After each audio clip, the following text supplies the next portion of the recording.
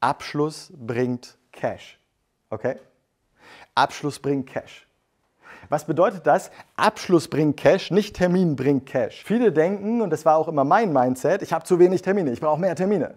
Am Ende des Tages braucht ihr einfach nur eine gewisse Anzahl vor den richtigen Terminen. Darum soll es gehen.